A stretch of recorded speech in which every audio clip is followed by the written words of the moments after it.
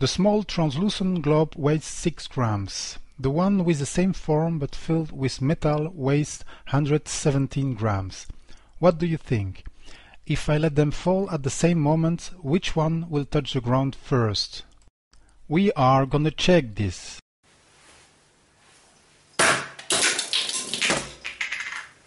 The two globes touch the ground at the same time. Why is this? Without going into details, the mass of the objects removes itself from the formula which is used to calculate the acceleration to the ground. This means there is only the gravity and form that count. That's why both objects touch the ground at the same time.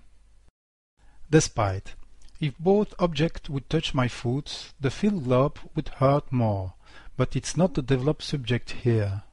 Now, we are gonna try to determine the relation between the time and the traveled distance during the acceleration.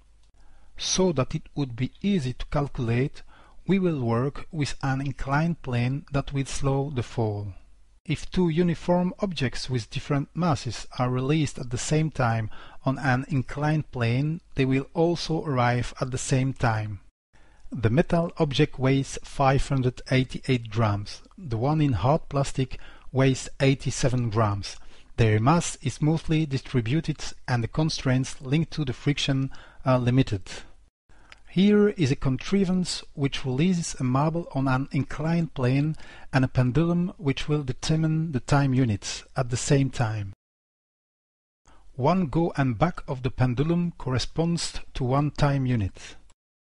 The goal will be to put a clothespin on the inclined plane where the marble will be on time unit 1, then another on time unit 2, and a last one on time unit 3. You can shorten the length of the pendulum if you would want that the time periods would become shorter. 3, 2, 1, go!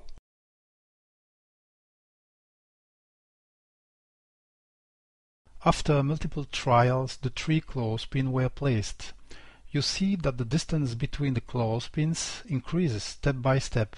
This is logical. There is an acceleration. Between the start and the first clothespin there is 21 cm, between the first and the second 63 cm. Finally, between the second and the third 105 cm. With this I deduce that the speed of the marble increases. If I measure the distance between the start and each clothespin, I respectively obtain 21, 84 and 189 cm. What can you deduce from this? If necessary, put this video on pause. Have you found it? At time 1 I have 21 cm or 1 time 1 time 21 cm. At time 2 I have 4 time 21 cm or 2 time 2 time 21 cm. At time 3 I have 9 time 21 cm or 3 time 3 times 21 cm. 1 time unit 1 square times 21 cm. 2 time units 2 square times 21 cm. 3 time units 3 square times 21 centimeter. So I see that the covered distance evolves proportionally with the square of the time. The coefficient of proportion is actually the acceleration. I can thus conclude that the distance is equal to the acceleration times the time squared, and in my example the acceleration is 21 centimeter per time unit squared.